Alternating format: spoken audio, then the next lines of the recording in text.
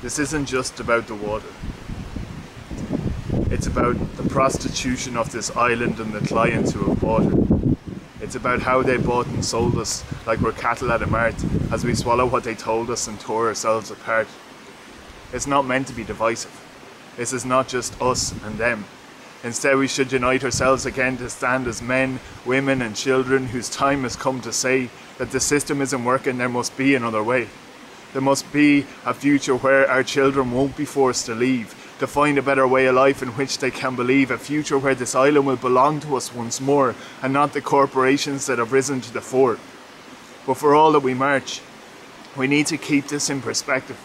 That the privatisation of water is an IMF directive, and the IMF themselves, for those who can't yet see, are trying to write the manuscript for modern history. So it's not as simple as just demanding that water charges are abolished because in my understanding it's their objective to demolish the notion of the nation state for all that it once stood was abandoned there behind the gates those days in Bretton Woods when economists assembled in July of 44 as the whole world shook and trembled in the mire of the war they were busy sowing seeds for the future of the planet and the way that we proceeded is exactly how they planned it.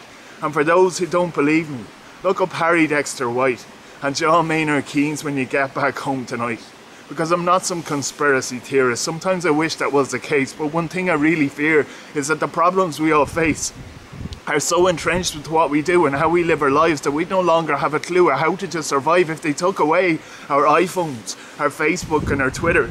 The way they've taken people's homes and look, I know I'm being bitter, but unless we stand united at the bottom to shout stop, you can be certain now of one thing that it won't come from the top because the trickle down economy has been dammed up now for years and the 1% have no intent to pay back the arrears so it's time to leave our differences and learn to come together or the freedoms people fought for will be lost and gone forever because now our ideas of unity and the nature of society abandon the community and push the impropriety in the people who are making calls for all-out revolution without any real ideas of a cognizant solution.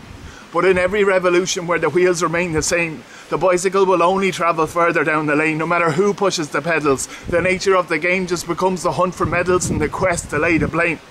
So we look to blame society and we cite a lack of trust. But in the cold light of sobriety, this all comes back to us because Ireland is the prototype of globalist ambitions. We bought the hype and sold the rights to all our old traditions. And those we didn't sell, we just gave away for free to the cronies and the phonies in this modern dynasty who see success as something measured by the others they put down, just to elevate themselves to the status of the clown. But look, it's easy to just stand here and go on about what's wrong. We've elected politicians just for singing that same song, but without a clear direction, it's just whistling in the wind. So it's time for introspection and time that we begin to decide what way the future is. Well, that choice is ours to make. Do we lie back down and take it, or do we stand for what's at stake? And I know that what I do isn't going to change the world, but if I can make a difference to one person with my words, I would hope that it would be to say that mutual respect should be the very least that we as people can expect. Because since these protests started, I've seen hope grow exponential. With people realising the true nature of their potential is not the bitching kitchens wondering what there might have been if only they'd done this or that or dared to live their dream. But we owe it to each other to be decent while we can, to be kind to one another and to see that while we stand we're all in this together, every woman and every man, drawn from all the corners of this rich and fertile land.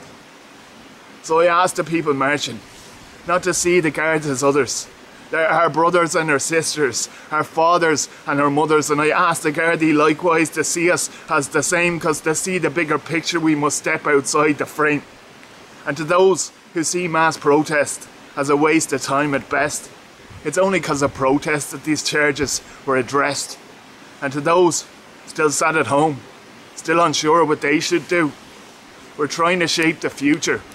All we're waiting for is you.